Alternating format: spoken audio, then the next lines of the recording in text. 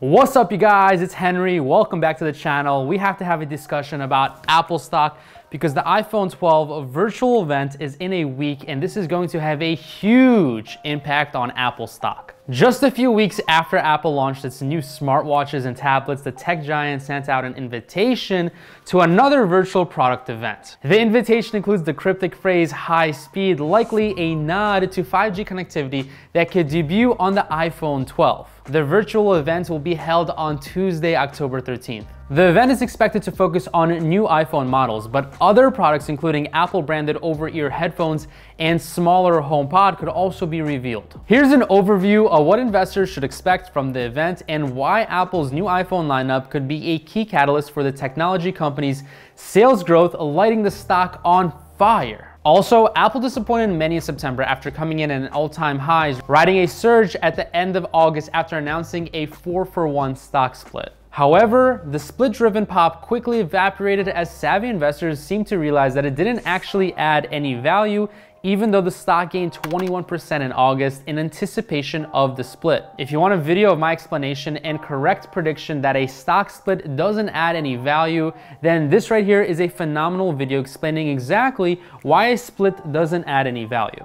Anyways, let's get into discussing the rumors and Apple events since this is our immediate foresight. But first, let's discuss the rumors and Apple events since this is our immediate foresight future and that's going to be happening in about a week. Apple seems to unanimously agree on one thing. The tech giant's rumored iPhone 12 lineup will be launched during the company's big event next week. The new smartphones are expected to have flat edges similar to those featured in recently launched iPad Pro and iPad Air devices. The smartphones are rumored to support 5G connectivity, so I'm betting people are going to go mad over this event. In addition to launching the devices in a newly styled form factor, Apple will also reportedly debut three display sizes. The company is expected to launch its smallest iPhone since the iPhone SE in 2016 as well as an iPhone with its largest display yet. The iPhone will come in at 5.4 inches, 6.1 inches, and a 6.7 inch heights according to rumors. This compares to 5.8 inches and 6.5 inch display options for the iPhone 11 Pro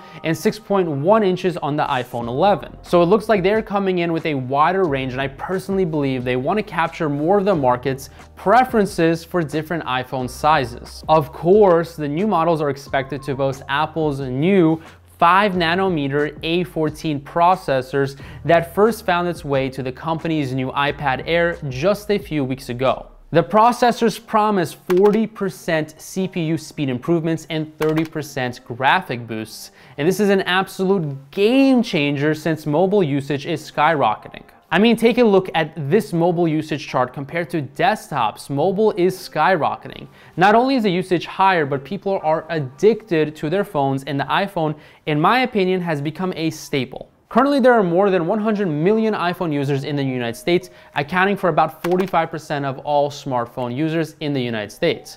I can see this metric going higher towards 50% if iPhone keeps improving and taking market share. In addition to new iPhone sales, Apple is expected to launch the first Apple branded over-ear headphones. The headphones will attempt to build on a significant momentum that the tech company has seen with its AirPods. Other potential product launches include a smaller smart speaker, new Macs, and tile-like Bluetooth trackers that can be attached to items and tracked with Apple's Find My app and potentially other apps that Apple might reveal or other products that Apple might reveal during this big event next week. The reason this video is so important is that the iPhone remains the company's most important product by a long shot with the smartphone segment accounting for more than half of its trailing 12-month revenue and likely impacting profits even more. Now, Apple doesn't really break out the gross profits derived from the iPhone, but most analysts believe it's one of the company's most profitable products. That wouldn't really surprise me since regarding the Apple's Q1 2020 holiday performance,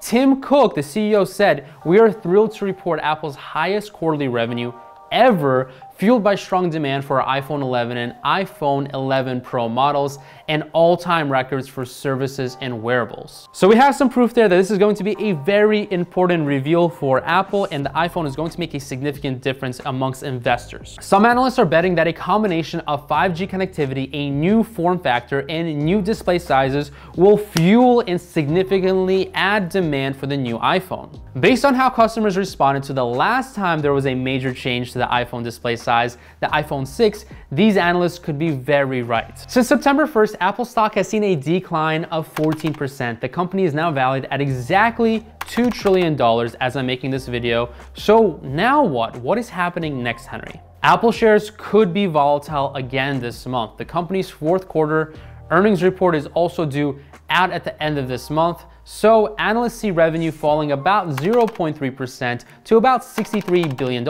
and earnings per share might slip from 76 cents to about 70 cents. However, the most important quarter, especially for a consumer and technology company like Apple, is Q4. So I think we will see more price action from Apple event rather than the earnings since the event itself will really impact the holiday sales in quarter four. However, here's a different account that I have on Thinkorswim and the options are applying about an 11 dollar up or down move from now until the end of this month. The volatility for the options are 48%. Basically, the implied move is saying that Apple should be between $105 on the low end and $125 this month. I see Apple picking up towards $125 as we approach into the holiday season and earnings report. Implied moves are interesting to study since they tell you a lot about volatility, and this is one of the things I will be teaching in my options course. If you have suggestions, questions, or want to get updates, I have a free sign up link in my description.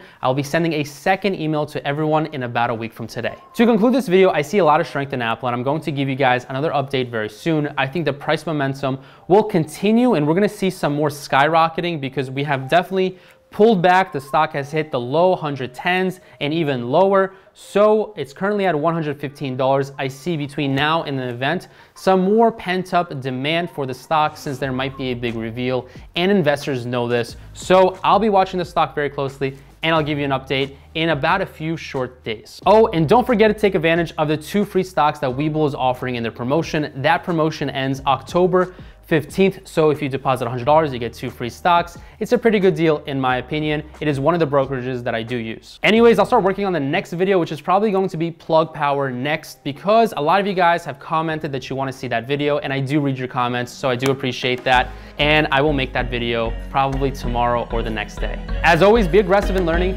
but be safe in investing. I'll see you back on the channel very soon.